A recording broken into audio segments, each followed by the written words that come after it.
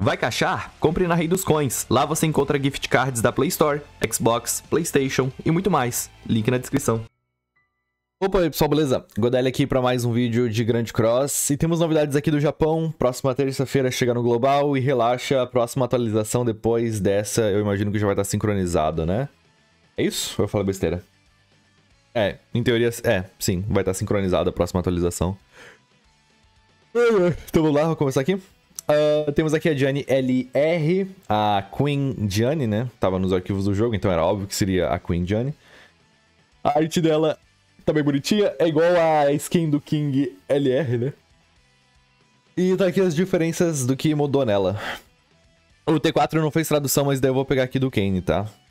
Então tá aqui as mudanças da LR Gianni, né? A vermelha. Quando danificado por inimigos, aumenta o dano da unidade em 15% até 60%, tá? Então eles aumentaram essa partezinha aqui. Antes, se não me engano, era 10 até 50, né? Beleza. Agora são 4 stacks ao invés de 5. Ok. E aumenta as estatísticas relacionadas a ataque em 7% até 28%, ok? Uh, combina até 500 mil de dano... Até 500 mil de dano... Ah, tá. É, no caso, isso aqui continua sendo a mesma coisa, né? Que ela, ela tem um stackzinho ali que quando ela sofre 500 mil de dano, aumenta o dano causado em 30% da quantidade acumulada, tá? Então aqui eles aumentaram pra 30%, antes era 20, né? É, antes era 20, agora foi pra 30% aqui.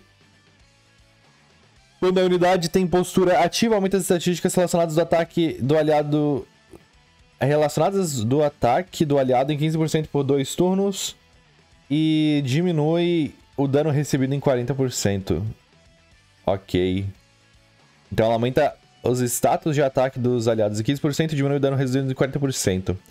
O HP da unidade não diminui mais de 60% do HP máximo. Uh, esse é damage cap. Só que é um damage cap meio meme, né? 60%? Por que não deram 50%? 60% não é bom. Que Tipo, pra quem, pra quem não entende, né? 60%. Digamos, a Diane tem 100 mil de HP. 60% ela toma no máximo 60 mil de dano. Se fosse 50%, seria no máximo 50 mil de dano. Então, não entendi por que, eles deram 60% ao invés de 50%, como é normalmente o padrão. Ainda mais que é só pra ela. Ao menos ela finalmente recebeu damage cap, né? Mas ok, então. Nossa, achei meio bizarro que eles focaram bastante no dano dela, né? Isso é bem, bem louco. Bem louco. Pô, pensei que ela ia ser bem mais suporte tanque. A habilidade 1. Diminui as estatísticas relacionadas da... Nossa! Diminui as estatísticas relacionadas da HP em 30% por dois turnos, então inflige pulverais e inimigo. Tá, pulverais continua a mesma coisa. Nossa, estatísticas relacionadas a HP? Não tinha efeito pior não pra colocar aqui?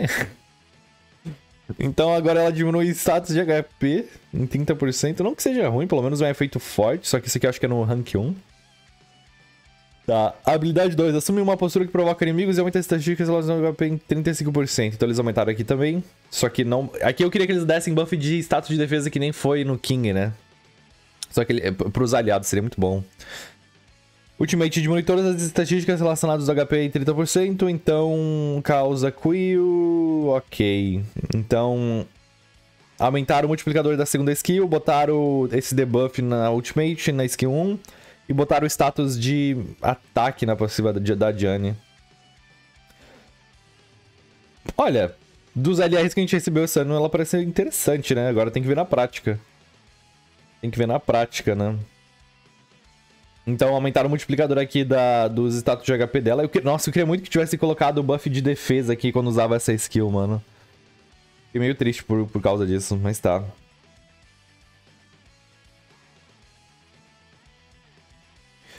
Eu acho meio nada a ver forçar o dano na Diane, sendo que o foco dela é mais ser suporte, né? Mas, vamos ver, vamos ver. Vamos ver no que isso vai dar.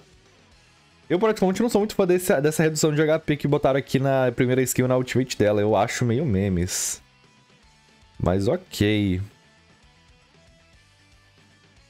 que, que vocês acharam, rapaziada? Assim, no papel não, não parece ruim. Também não parece broken, na minha opinião. Mas na prática agora é outra coisa, né? Zahard que diga, né? Zahard que diga. Uma coisa que eu também fiquei. Assim, legal é que eles não, não botaram restrição nela, ela roda com qualquer pessoa, né? Isso aqui, querendo ou não, é bacana. Bacana. Poderiam ter colocado alguma coisa na postura dela. Tipo, eu ainda acho que a postura dela é meio fraca. Eu ainda acho que poderiam ter fortificado a postura, postura dela de alguma maneira. Tipo, não só nisso aqui, botava, sei lá. É. Que ela não pode perder, não pode perder postura, tá ligado? Sei lá. Não dá pra remover a postura dela.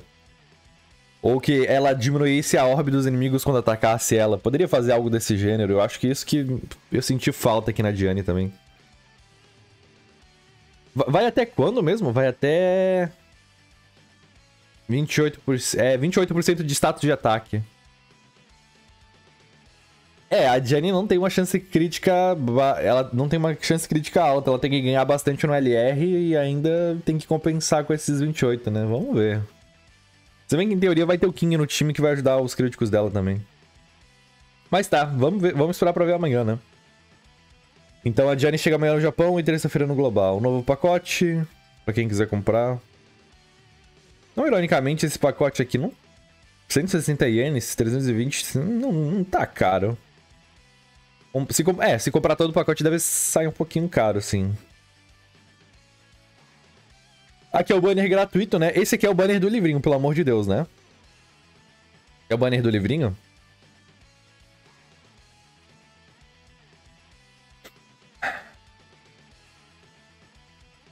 Cadê aqui falando que é do livrinho?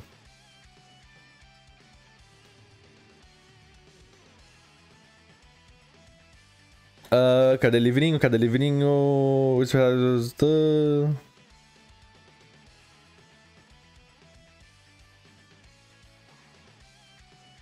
É do livrinho sim. Após a manutenção do, do dia 22 de, no... 22 de novembro, que vai ser quando vai ser o festival. É, aqui tá praticamente confirmado, rapaziada. É 22 é quando caiu o festival. Serão adicionados locais para obtenção dos ingressos especial do 5.5 aniversário. E daí eu imagino que seja o livrinho em si, o que eles querem dizer aqui. É, eu acho que vai ser isso. Tipo, os locais de obtenção vai ser o livrinho. Tá, a pool. Lixo interessante, lixo tanto faz. Bom, bom. Quebra-galho de início de game. CC Box, CC Box, CC Box. É, puta mais ou menos. Mas pelo menos tem o Tarmiel e a Frey aqui que estão carregando o banner no geral. Aqui é a sua escolha, né? É, tá escrito garantido para conseguir. Cara, daqui a Megalda já é de graça no primeiro livrinho, então aqui você pega a Jorgumand, né? A Diane aqui é a única que dá pra você pegar. Aqui do 180, o 180, eu acho que a Margaret talvez seja a melhor opção, né? Porque ela, ela foi, eu se não me engano, foi a única facilitadora que ainda não apareceu de graça. E ela tá sendo dada de graça pela primeira vez agora. Tipo, no garantido mesmo, sabe? Então talvez eu iria nela.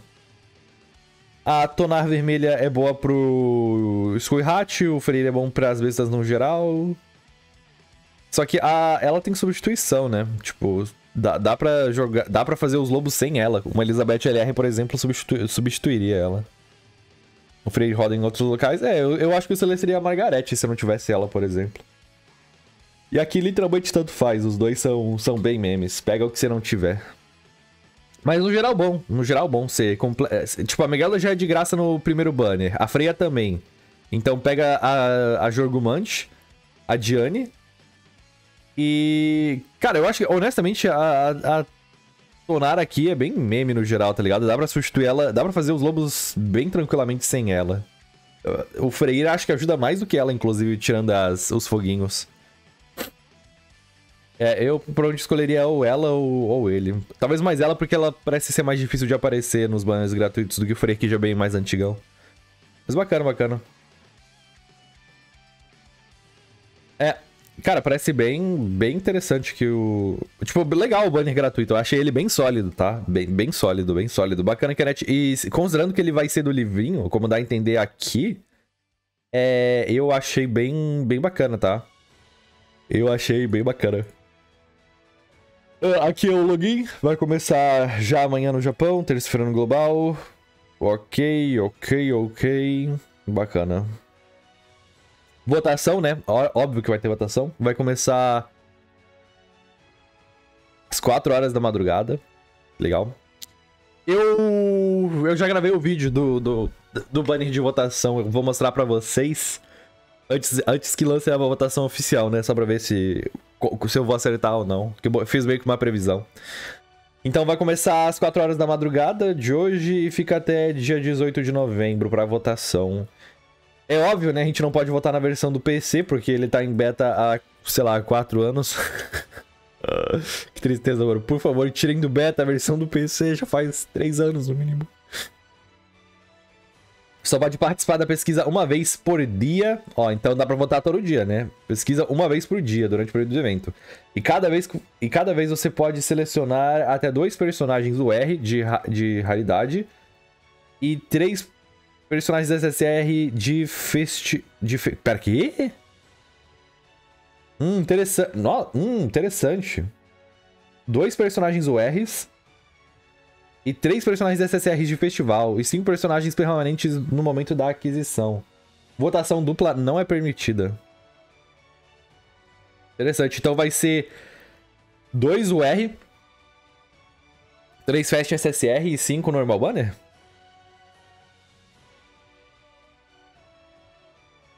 É, parece que é isso. E, ele tipo diz aqui e, não ou. Então acho que é isso.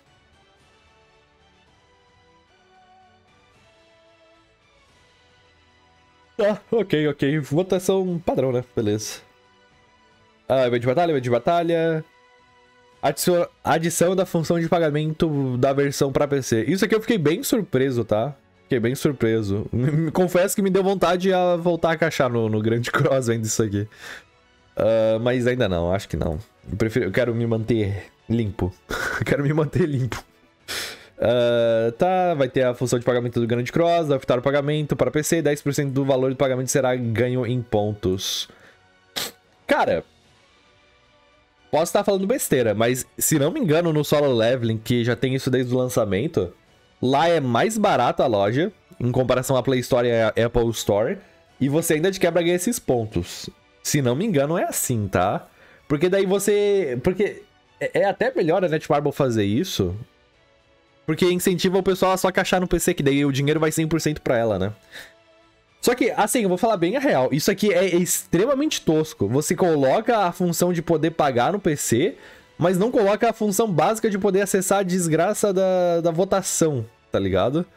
Isso aqui, na minha opinião, é hiper mega meme, cara. Tipo, se, se o que custava, vai adicionar o bagulho de pagamento no PC? Bacana, mas, pô, sério que a gente não vai poder acessar a votação pelo PC? Porque tá em beta há 3 anos a desgraça do launcher. Tipo, isso aqui é meme, rapaziada. Isso aqui é meme total. Mas bacana, pelo menos isso aqui a longo prazo é bom pro jogo também.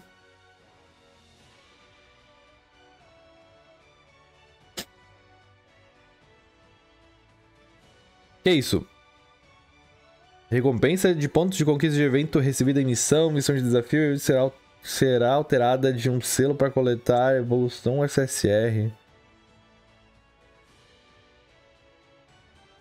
Eles vão trocar os selos aqui das missõezinhas de evento por pingente?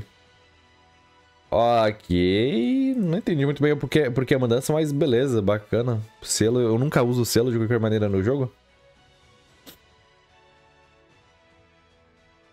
Tanto faz. Xion tava bugada a princípio.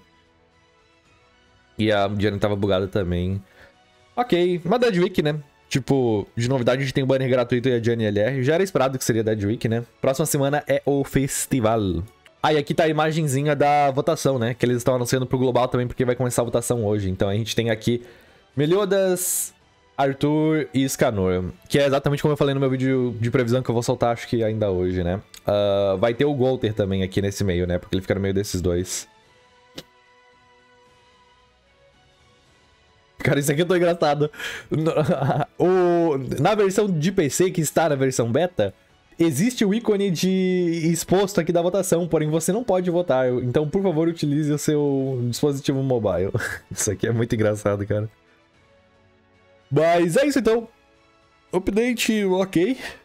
Espero que o festival sim seja realmente top, né? Compense todo, todos esses problemas desse ano.